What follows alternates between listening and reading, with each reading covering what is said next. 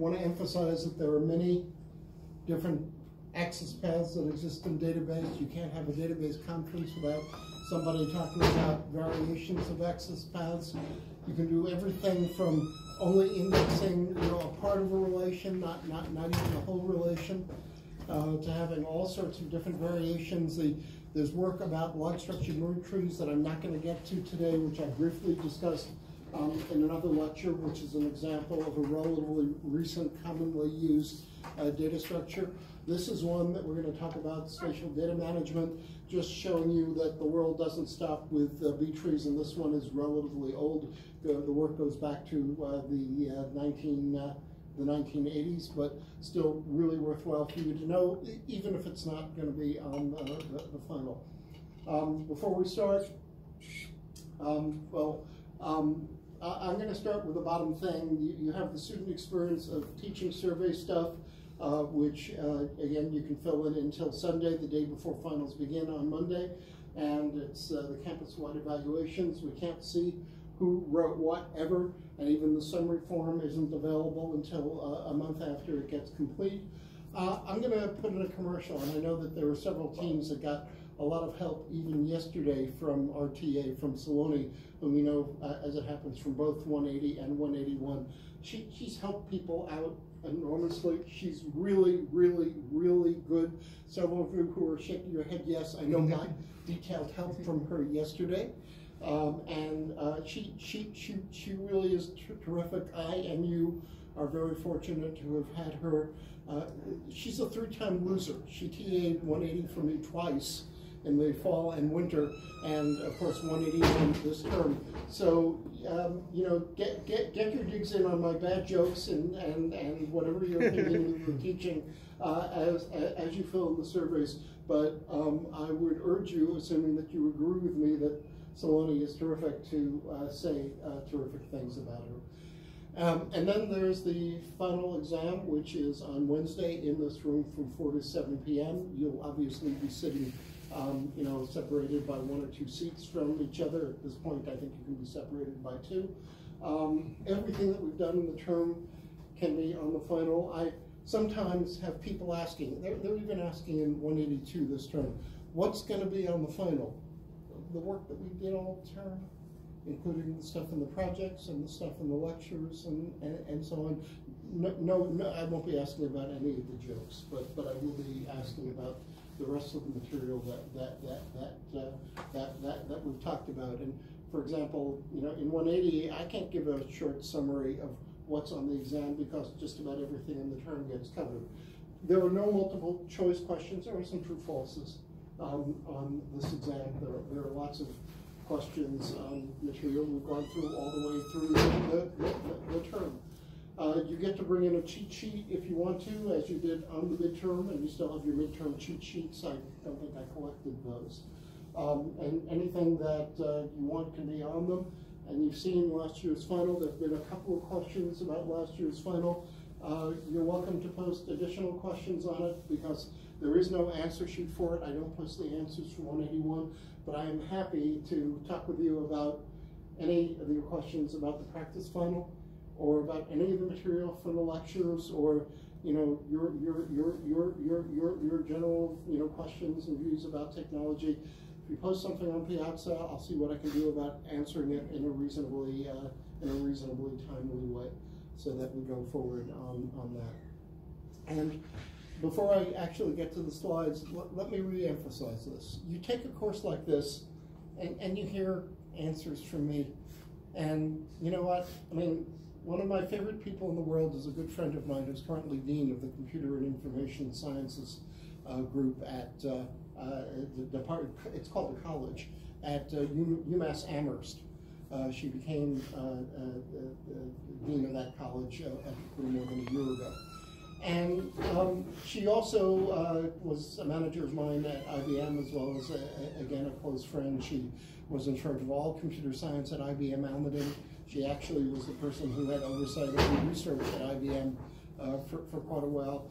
And she wore a badge all the time, I think she still does, um, which says question authority. And, and she's the authority in, in many cases, and she wants to be questioned. So I've given you what I hope is useful information about stuff during the term, but everything changes. Viewing all the stuff having to do with data management, and it's more than just database management, there's a whole lot of stuff that isn't managed in databases.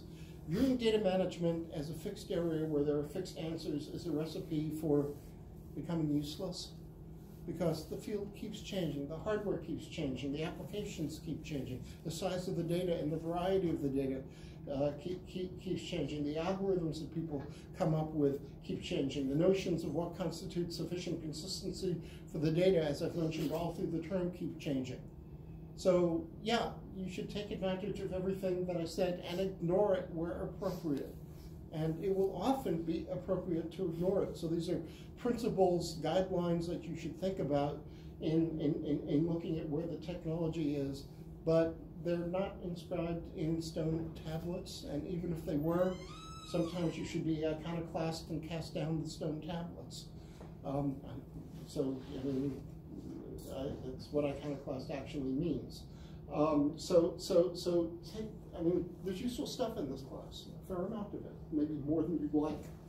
But there's also stuff that you should view as something to deviate from where appropriate, because it's not always going to be appropriate. So we're going to talk about a particular way of dealing with spatial data, which is different from B-trees. And we'll talk why B-trees aren't the right thing for dealing with it. But there are a lot of other approaches to spatial data that, that are being used now. But we're going to talk about some of the basics. So spatial data, you can have pointer data, such as you know satellite satellite imagery with vector with the images about the points, what, what the thing at a location or a set of locations is. It can be feature vectors that you extract, uh, all sorts of other vectors that you're dealing with with machine learning. And spatial data can include any kind of multidimensional data. It doesn't have to be geography. It doesn't have to be space and time. Any kind of multi-dimensional space that, that, that, that you're working with. And there's this abbreviation which was used for a little while and isn't used much anymore with slow, low, mo, where you talk about social, local, and mobile data. Uh, there's all sorts of things that you're talking about where, you know, the nice thing about having phones is you can get information based on where you are. The terrible things about it is that all that information is get, getting recorded and analyzed and shared in certain ways that are really scary. I may have mentioned this already about, I don't know, 12, 14, whatever years ago.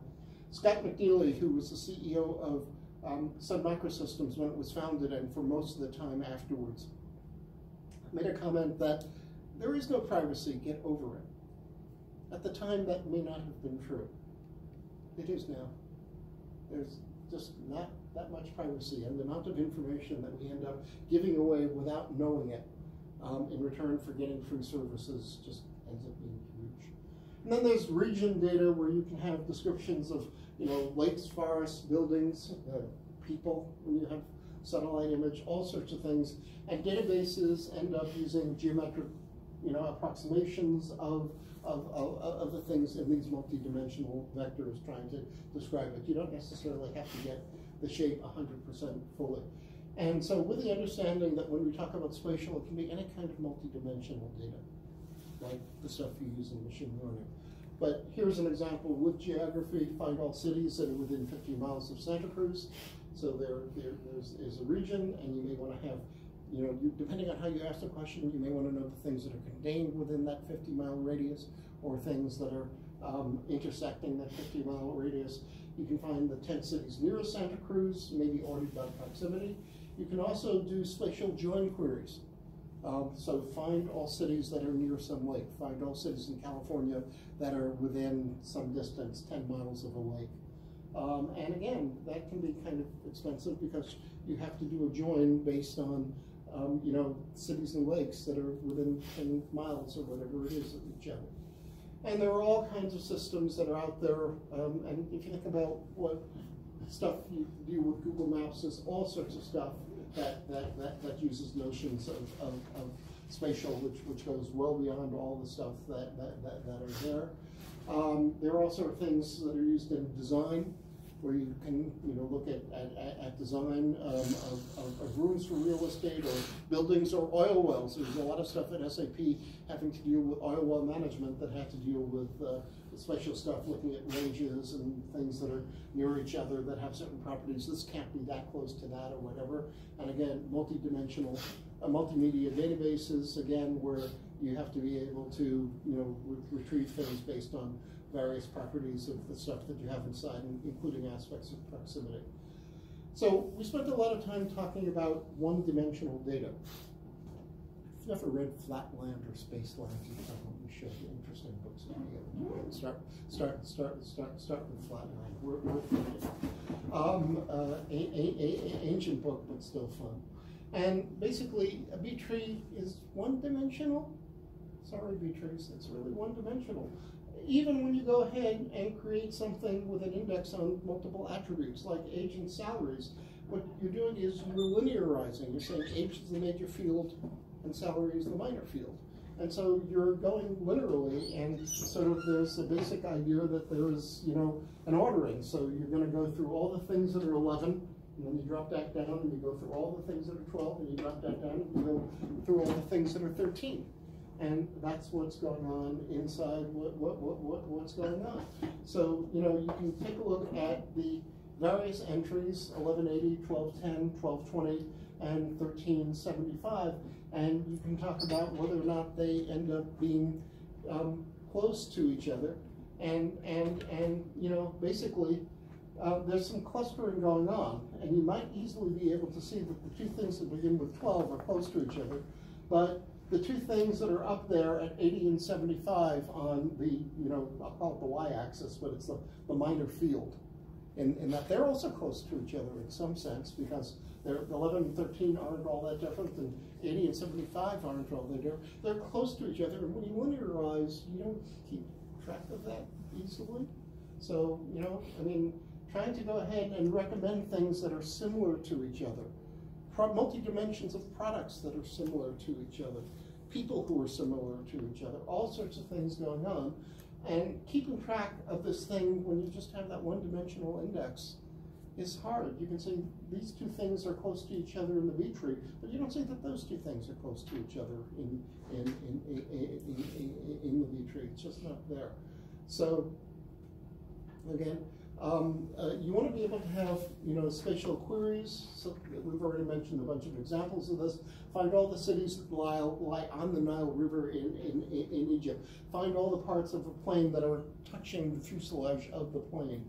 Cities with population 500,000 more, um, and find the one that's nearest to uh, Kalamazoo in, in, uh, in, Michigan, MI is Michigan, you know, et cetera, et cetera. Hotels near a conference venue. Uh, again, find, uh, there's a lot of stuff going on in this. In fact, there are a lot of people, uh, I believe San Francisco has just forbidden uh, the use of, of facial recognition for law enforcement. Find, find the five most similar faces. What does similarity mean how do you compare? It's a multidimensional query based on you know uh, some you know, descriptions of what faces are like.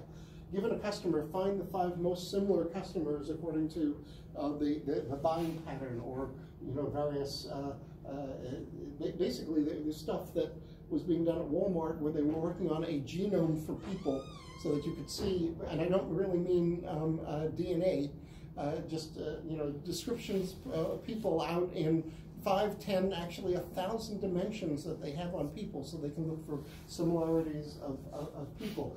Plus, again, the one that we'll be focusing on is um, a multi dimensional thing involving um, uh, latitude and longitude, but you could also have multi-dimensional in age between 50 and 55 and salary between um, 80 and 90. Again, emphasis, this ain't on the final, but um, it's still very much worth knowing. So you want to have index based on a spatial location where, again, I'm talking about multi-dimensional data. And the stuff that we'll be talking about works really well for two-dimensional, works well for three-dimensional, starts falling apart a little bit when you get past uh, three-dimensional. So one dimension, focus on geography with two dimensions, latitude and longitude. One-dimensional index doesn't help you deal with that easily because you get the things that are alike in the one-dimensional linearization, but not in the multi-dimensional. Uh, hash is terrific if you have a point query. Hashes are not good for range even in one dimension.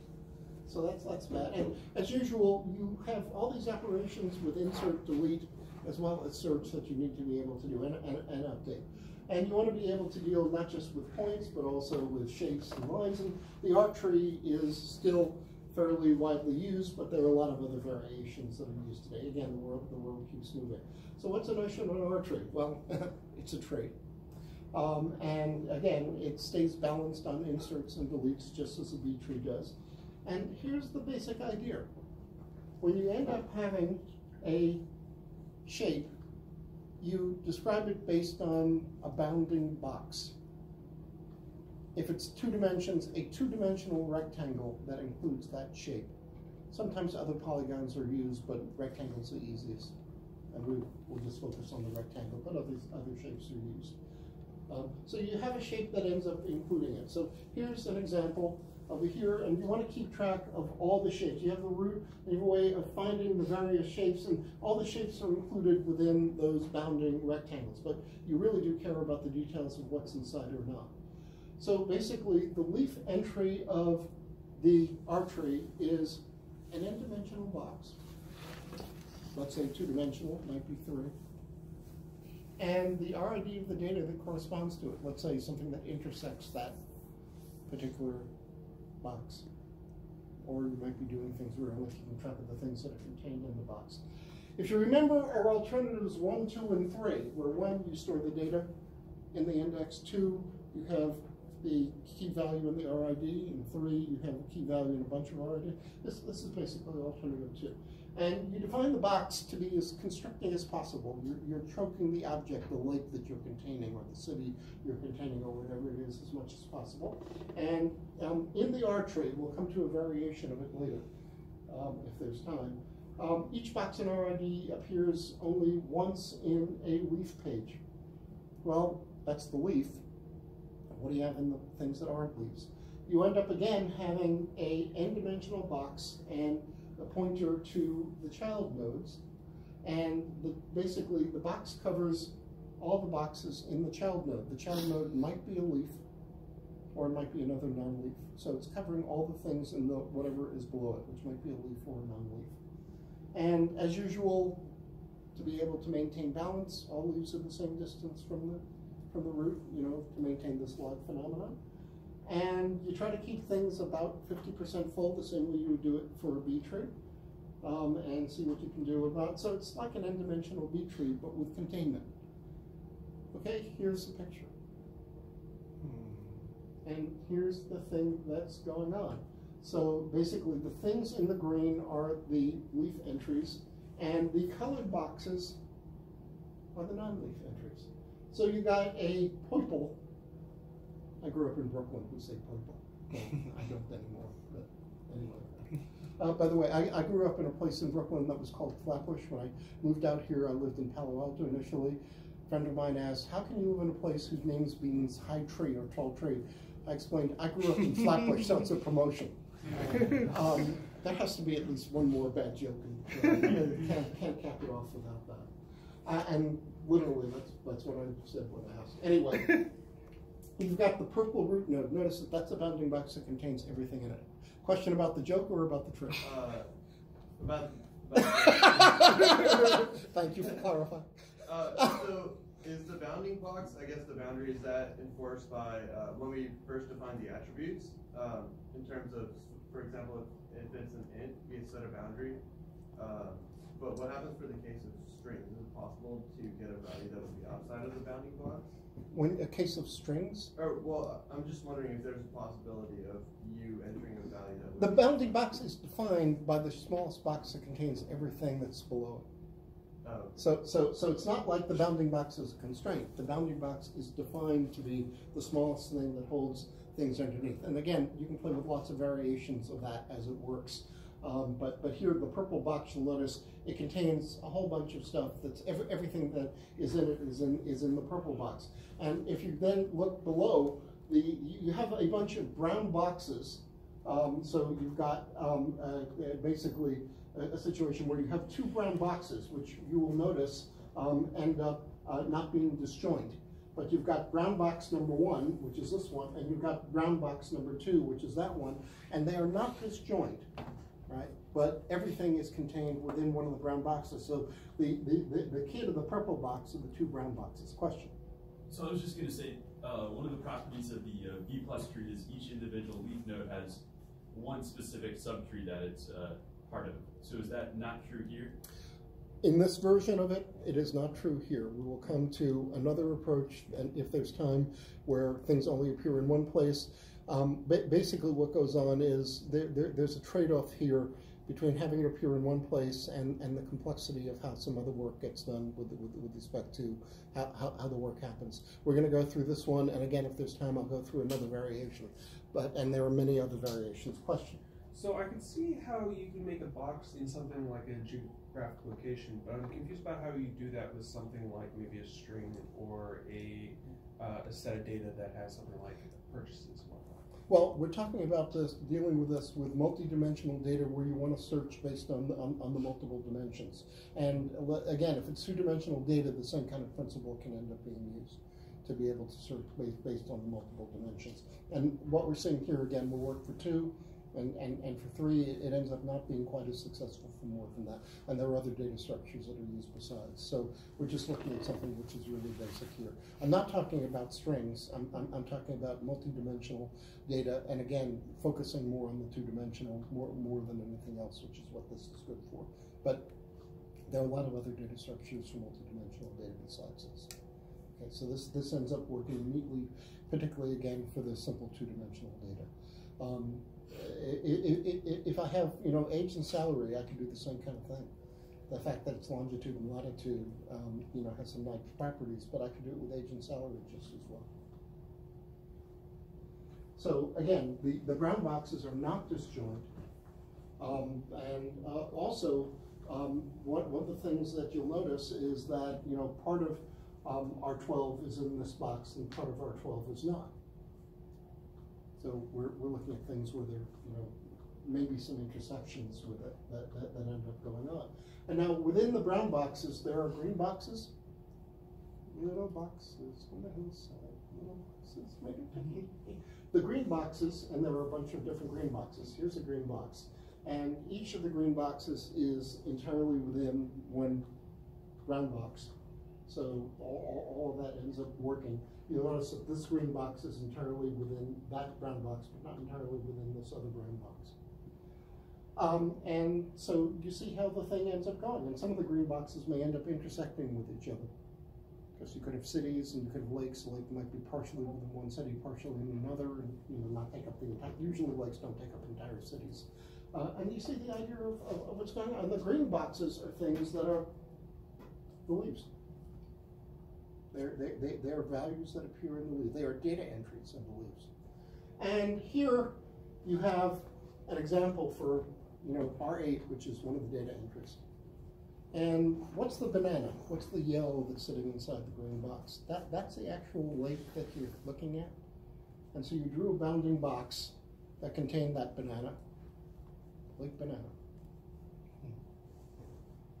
But what you care about isn't the bounding box. You care about the lake. So you have a description associated with that data of, of, of what, what it actually looks like, and it's approximated by the bounding box already. So that, that's the general idea of what's going on. And here's the tree.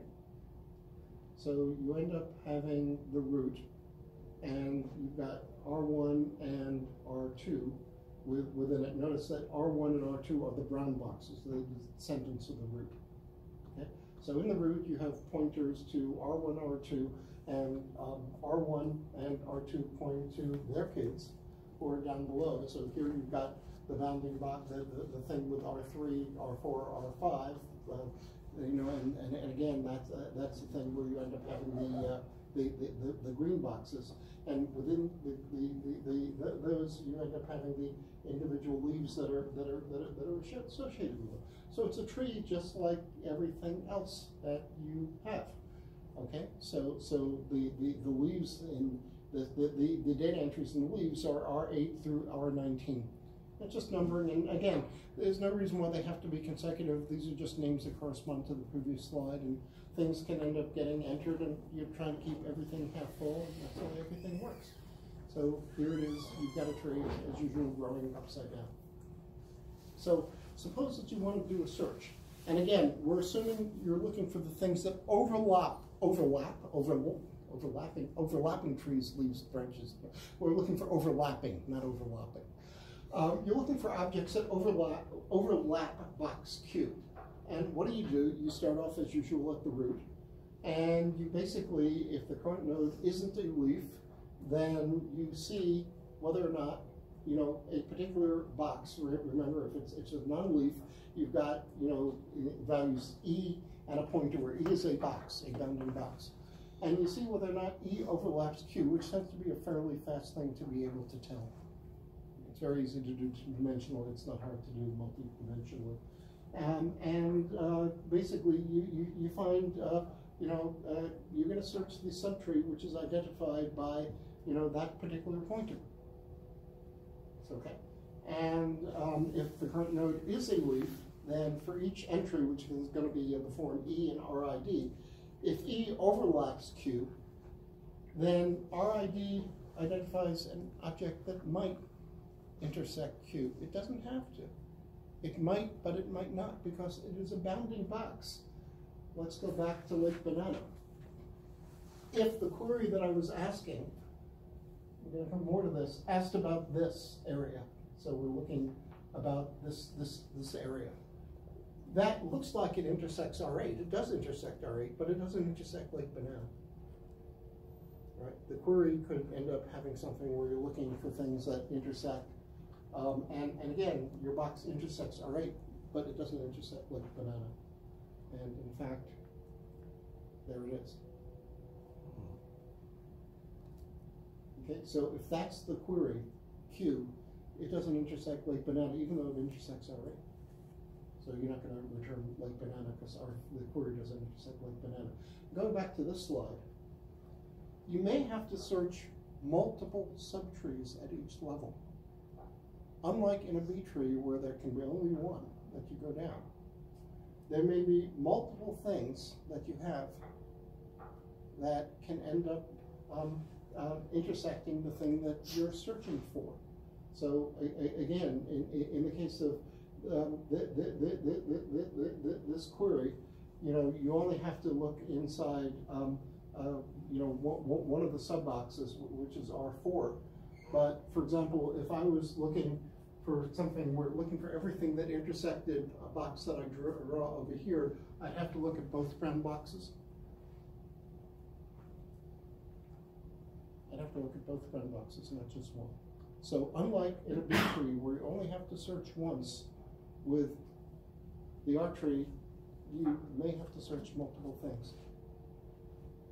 And that's one of the things that you get as a result of the way this thing is being done. So again, two things, you may have to search multiple things, and also just because something appears to be in the answer based on the bounding boxes, it doesn't necessarily appear in the answer because Lake Banana doesn't intersect Q. So we can go ahead and see how a search ends up working. Here's our Q. We start off with Q, we start off at the beginning. We see that Q ends up only intersecting R1, it doesn't intersect the, the second brown box and we take a look at Q, Q, Q, Q and the things within, within R1. Um, and in this case, again, the only thing that it's going to intersect with is R3. And we see that it ends up intersecting down below with respect to R8. But again, that doesn't prove that Lake Banana intersects with what we're looking at. In fact, it doesn't. So just because we found that the only match was R8, that doesn't prove that there is a match. You have to take a look at the actual shape of the thing that has been bounded by the box to figure that out, and that's not that hard a, a geometric thing to do, depending on how the description of Lake Banana works. But we're not going to get into, in, in, in, into the details of how you do that, that, that example one. And in this particular case, Q doesn't intersect Lake Banana. Okay, so let's suppose that we have a different group. We're shown in red. And let's see how the search is going to end up working in this particular case, and you should get the idea of how the thing is, is, is gonna end up working, because there are gonna be multiple things that you have to search that intersect in this particular case. So we start off with a query at, going at the top, and we see what we can do, because it's, it, basically, it's, it's, uh, gonna be inside, um, R two, and we see that we're gonna have to look at both R six and R seven. And we're gonna see that there are potential matches in R fifteen, R sixteen, and also R seventeen, R eighteen, and R nineteen. So there are multiple things that we need to be able to check out to see whether or not the thing ends up working. Okay, so this ends up, um, be- being something that we, we, we, we, we- work with. And, and again, uh, there will be intersections with 15, 16, but when we check 17, 18, 19, it's not gonna intersect seventeen and nineteen. It, it, it's only gonna end up intersecting eighteen. So basically, it is, okay, the reason boxes are used is you don't have to have a whole lot of data to represent a box. Basically, you intersect one corner of the, you store one corner of the box, you store the other corner of the box, bang, you got the box. Right, so just four values, you know, you don't have to store all four corners because it is being stored as a rectangle. Well, another possibility is to store triangles, pentagons, hectagons, octagons. Choose whatever shape you want, and that would end up having the advantage that you would minimize unnecessary overlap right, by, by having a closer, tighter shape describing it, at the cost of having to do a more complicated comparison to see what's in there. What the heck? You don't even have to have convex polygons. What does convex mean? It means that if you draw a line between any two points in the region, it's also going to be inside the region. Okay, so so most that, that that's all that, that that that convex means. So, for example, if you took the letter M and drew a line on the bottom and filled in that shape, so you take an M and fill in a line on the bottom and fill everything in that's inside that. That's not going to be convex because you know draw a line between the top part of the M to the other top part of the M. That that line is not entirely within the M shape that you drew, so it's not convex. So con- con- convex ends up being nice. You could have more complicated, but I mean, the choice as to what shapes to use is, is, is up to you. Or you could also go ahead and draw shapes as being unions of convex polygons. There are all kinds of things you can do on this. Um, how do you do insertions? You know about B trees, you're going to see how this thing works. It's going to be a variation. What that. You have to build the a B tree. So you want to insert an entry with B and a pointer. You you start at the root as usual and you try to find the best fit leaf L. So basically, you don't have to put it in multiple places. You can, but you don't have to. We're going to be putting it in one place. So here's what we're going to do. We're going to see what we can do about finding the best fit. We're going to see if we can find the child whose box needs the least enlargement to be able to put this new guy, B comma pointer and B is a box, B is pointer is the RID. We're, we're seeing what we can do about putting that in. So we don't have to put it into 17 different places. We'll, we'll, we'll put it in one place. The search is going to find it. And we want to find the thing where we try to keep boxes as small as possible. Thus, it means that you know we don't have you know, unnecessary searches to you know, unless we have to search multiple things if there's a potential uh, thing. So you find the best leaf, best fit leaf L, and maybe that ends up having space. And if it doesn't, what do you do? You split, and you have to adjust the parent as usual. The children cause trouble with the parent when they split or, or merge. Um, so you split the, the, the, the child and you put another entry in the parent, um, and of course, that might cause the parent to split, um, as, as, as we're seeing with B-tree. So that's a general idea of how an insert works. Okay? So when you end up splitting the node, the entries in the node plus the, you know, newly uh, uh, inserted have to be distributed between the two kits. So you're splitting L into L1 and L2, or it might be just L and L2, but here I'm writing L1 and L2. Uh, and what you want to be able to do is to, and re remember that this, this is a split that you could be doing at a non-leaf. And what you want to be able to do is to minimize the combined areas of L1 and L2. Okay, so, you know, you want to redistribute so you minimize the total area. They can have an a, a, a, a intersection. Um, and a good split that you would have in this particular case where we've got four green boxes. And a good split would be, for example, to have that red box and that red box because it minimizes the total area of L1 plus L2. And searching through all the possibilities is complicated. There are various heuristics for doing it. The original Guttman paper on this has you know some ways that uh, you can do uh, to, to, to, be able to have a, a, a, a, good split. The red boxes would be a good split. The more obvious thing that you would think of is the two green boxes. That's a terrible split. That's a much worse in terms of the overall area than the two red boxes. So the good split would be the red boxes rather than the uh, the olive green boxes that are, that are shown there. Okay, so again, we'll see about trying to do an insert. R20 is coming. Again, no reason why these have to be consecutive. It's, it's, easy for the example. So you're going to see what ends up happening when you put R20 inside the tree. So here comes R20. You want to be able to put it in. We want to see where it goes. We're going to see what we can do about putting it inside, um, you know, R4. And in this particular case, it's easy because there was room. That worked nicely. I'm not going to show you an example about what happens when there isn't room. It's the same thing we did with B-trees, except again, the principle is try to put in the thing where, put it into the leaf that, uh, you know, where, where, everywhere we go, we try, we try to minimize what the effect is. You don't have to put it into two places. You're going to be searching multiple places. So you only have to put it in one place. I'm going to say that again, and you should get a clue as to what the variation we're going to come to does. You only have to put it in one place because you're going to be searching every place that might intersect. I'll give you another sentence. If you put things in multiple places, then you only have to search following one path. So what we've done is we've put it in one place, so we have to do searching along multiple places that might intersect. If instead you did something where you put it into multiple places, then you would only have to search once. So here we come. There is an example of something called an R-star tree, nothing having to do with the IBM R-star project, and basically it ends up doing a variation. Um, it does something with force reinsert. So when basically here's the approach. When a node overflows and there isn't enough room with it, what you do is you'll take some percentage of the entries and you'll see about making things better.